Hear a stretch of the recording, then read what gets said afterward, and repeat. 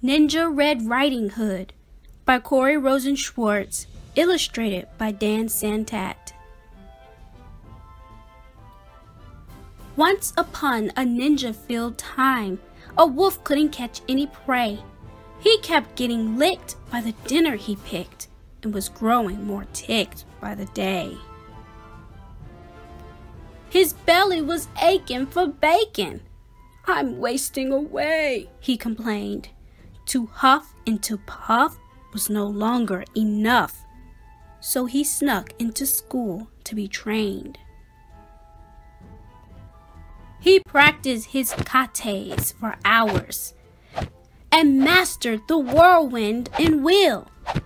He jackknifed and flipped, and at last felt equipped to once again catch a good meal.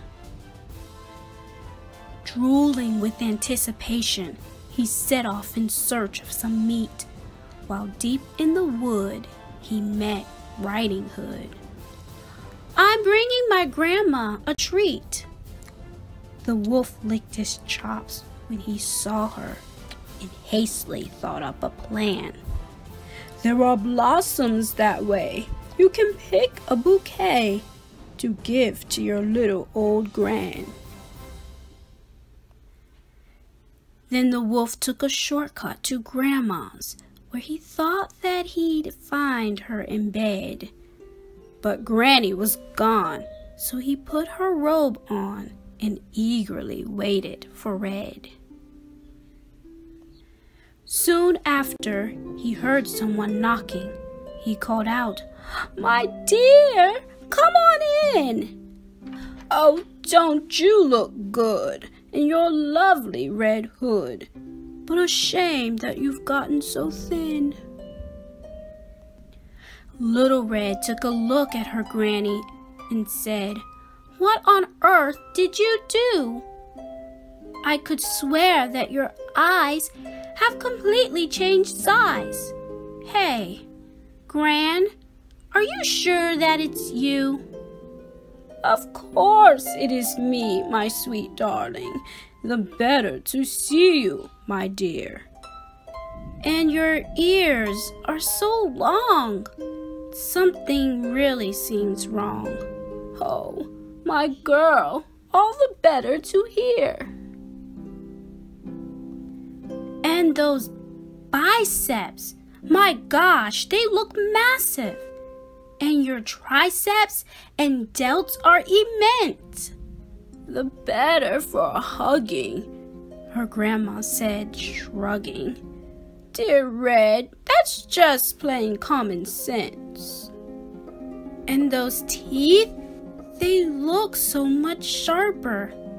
Why, yes, all the better to chew.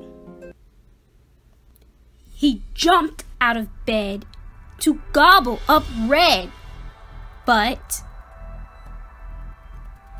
she'd gone to ninja school too. She grappled and sideswiped and twisted and escaped from his clutches unscratched. She attempted a lock, but he managed to block. They appeared to be evenly matched. Just then, they both heard someone chopping. A woodsman? Red thought. But instead, it was Gran and her gi. She'd just come from Tai Chi. Don't you dare harm a hair on her head. The wolf took a swing at that instant, but Red deftly dodged the attack. She got a good grip, threw him over her hip, and the wolf wound up flat on his back. I'll skedaddle! The wolf said in anguish as he struggled back up on his feet. Just a second, you beast! You will not be released till you promise to give up red meat! Though his tummy still rumbled with hunger, the wolf faced his rival and vowed, Ninja Red, you have won! My meat days are done! Oh, Red Chan, said Gran. I'm so proud. Then Red and the wolf bowed politely, and Gran gave him half her peach pie. The wolf was a mess. He had way too much stress.